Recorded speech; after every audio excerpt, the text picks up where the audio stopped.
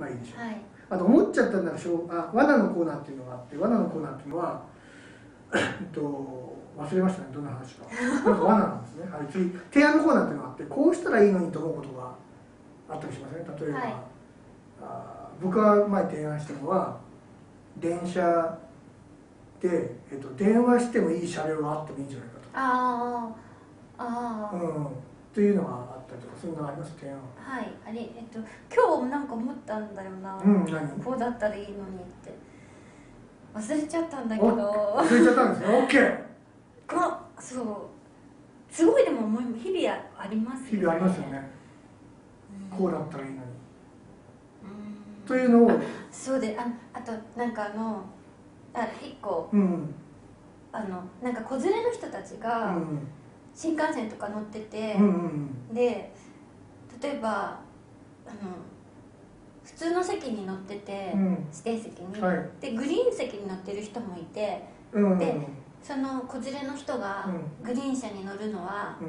普通のところだともっと人が多いからはい。迷惑かけないように乗ってる、うん、じゃあグリーン席立ってるってこあいえ。とちゃんとチケットを買ってそこに座はい、ってるってことね、はい。はいはいグリーン席の方が高くて。はいそうですね。はい、うん。で乗ってるけどそこで言い合いというかしてるのを見たことがあってほそのあのグリーン子供連れならグリーンじゃなくて普通の指定席に行けようって。う誰が？そんとんでもないこと言うなちゃんとチケット取ってるでしょ？そうなんです。泣くからうるさいから。ああなるでほどね。そのこっちの人は高いお金を払ってゆっくりしたいからこっちに来てるのに、うん。うん。ここで子供の声をなんで聞かなきゃいけないんだって、でこっちの女の人は逆に迷惑だから高いお金を払ってこっちにいるみたいな。確かにそうだよね。そう。だから逆に言うか分かんないけどねただその居心地がいいからそうえそうありますもちろんそう。でも謝ってましたけど。謝ってたんだ。一応そのすいませんって。でも、まあね。あっちに行った方が迷惑かけてしまうからみたいな感じで言ってましたけどだからなんか実際泣いてたんだ泣いたりしてちょっと泣いぐずったりして。うん。だから子連れだけの車両とかね。それはいいね。そしたらもう誰も文句言わないじゃないですか。それはあの日本としてやった方がいいような気もするよね。子連れ優先車両とかね。そうですね。子連れだけだとねそうですだって。うんうんうんそれいいすごいいいこと言ってる今。うん。うん子連れ優先車両っていいね。うん。ですよね、うん。そしたら誰も文句出ないから。でもさそれって一つ問題が起きた今僕の頭の中に、はい。頭のシミュレーションの中で。どうぞ。子連れし子連れ車両行けよみたいな。確かに。子連れ車両いっぱいなんですみたいな。うんそうですよね。確かに。どうしますこうん。だからないのかなやっぱり。れ分かんないどうだろう。でもねそんなに需要がないとも思うのかもしれない。そんな一個の車両。でも子連れ優先車両だったら別にね、うん。ああそうですね。うん、それいいね。それ素晴らしい。あの少子化対策的にもいいし、うん。今そのなんか日本人がねなんか子供に厳しいみたいなのあるじゃん。電車とかでん。席を妊婦に譲らないとうかね、ん。それ素晴らしいですよね、うん、よかった。どっちに転がるかびっくりあれしたけど。あともう一個もう一個聞きたい聞きあたい。違うハラスメントの話でうん。思ったのが、女性専用車両に、うん。うんうんもう女しかいないんですよしかも結構ぎゅうぎゅうの、うん。なのにう男の人が一人いたりしてそのそれってなんかんなんで？お気づかないのか？気づいてるけどいるのかわからないのでも確かに女性専用車両って、えっと、なんだかな障害者の方とかうん。なんか特定の人は乗ってもいい気あがしたんで男性でも、うん。あそうなんですね。あとそうそういう人もありえるしもう一つは、えっと、女性専用車両に反対してる人たちもいるんですよ。うんうんうんうんなんで女だけって。そうそうそれこそ差別じゃないかみたいな。うん。だからですかね。ななんか変なこと考えてるのかわかんないけど。うん。うんそれはハラスメントだけど本当にハラスメントだなそれは。なんかちょっと古いですけどババって走ってコートをあってやる人いるじゃないですか。あれに似てなんかそれ勇気ある人だな。あそういうので快楽を得てるみたいなね。そうなんかみんなだってもうちょっと睨んでて気づけようみたない睨んでんだ。女の人が。みんな睨まれてるのが気持ちいい人もいる。逆にそうだからそうやって感じたん確かにでこうやってる人はむしろね睨めっていう、すそえーそういう男性がいるんだ。へえうもう堂々と乗ってて。でももしかしたらそういうね障害者の方とか。そうですよね。ね。そうですよねいやそういう人が乗っていいのかわかんないけどね。ちょっと見てみようか、うんはい。女性専用車両。確か一部の人乗ってもいいんだよな。うん。女性専用車両に内部障害者を乗ってくること。あ男性障害者も OK ほら。うん。2016年2月15日のお記事に朝日新聞デジタルえー、っとどっかパンタンやることがないか。男性の身体障害者やその介助者も利用できることを周知するよう配慮を求めた。だから知らないわけですよね。うん。周知してない。してないしでえーっと女性専用車両っていうこの画像があるじゃないですか、はい。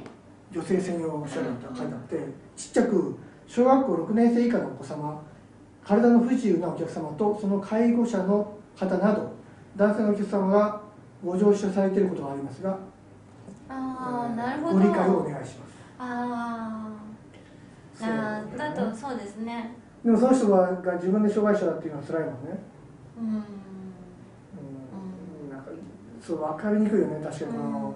あとなんか車椅子とかだったりしたら、うまあ、そこ何でもそうなんですけん、ど、うん。わかるじゃないでうん、すか、確かでもシルバーシートでもそうですけど、に、うん、なん確かね。ね。分かんないよね、うん。うん。あのほすっごい腰が本当は痛いとか、うん見た目でわかんない人もたくさんいるから難しいですよね。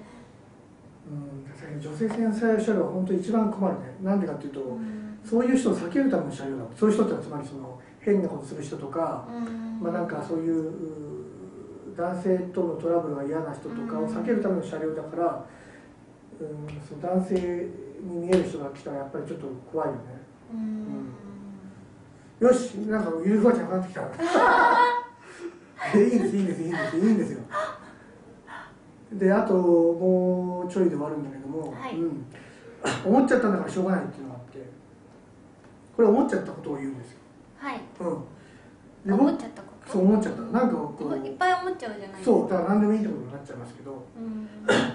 最近その我々って、まあ、いつか死ぬわけですよ。うん。また深刻な話になっちゃうで余命とか宣告されたらかなりこうストレスだと思うんですよ。僕は多分ストレスなんですよ。だその訓練をいつもしようと思ってるんですよ。あるいはこう家族が死ぬとかうん妻に離婚されるとか何が起こるか分かんないんでね。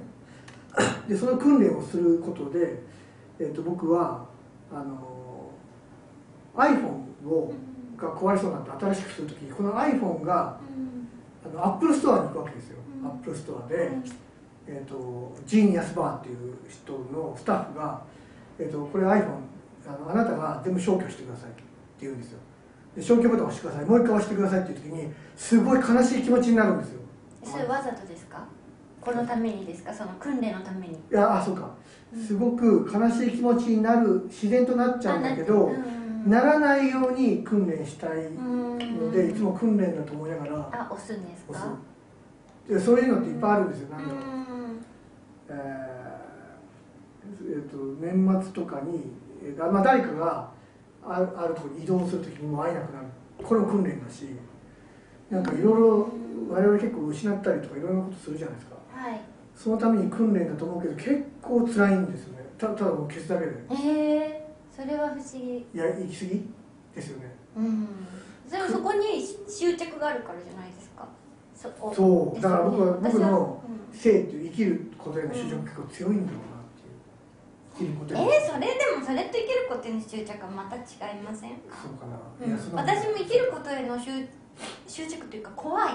怖いね。怖い無になるとうじゃないですかん怖いけどその画面は別にいい。それ手放すんですよ。うんうん全然。だってそんなデータがなんでですか？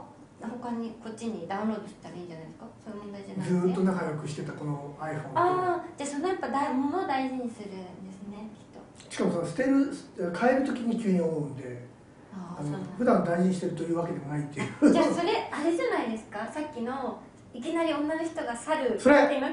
それそれそれですね。その時になって気づくみたいな。そうそうそう。その時に執着しないようにすれば何が起きても耐えられるみたいな OK 他にもいっぱいあるけどもうやめとこう。やめとこうって思うのは、はい。またその近々また撮るのではい。他子供の頃の思い出とかもいろいろあるけどそれを飛ばして今日は終わりにしましょうか。はい。結構もうなんだろう、えー、と60分以上。はい。で普段60分ぐらいですいや90分ぐらい。あそうだ多分今そのぐらいですよね。うん。なんかあります？最後。にないです。OK じゃあまあ今回ちょっとありがとうございます。ありがとうございました。でも結構恋愛には役立つけどゆるふわじゃないみたいな。まあでもそれはそういう回もいろんな回があっていいということではいはいさようなさよなら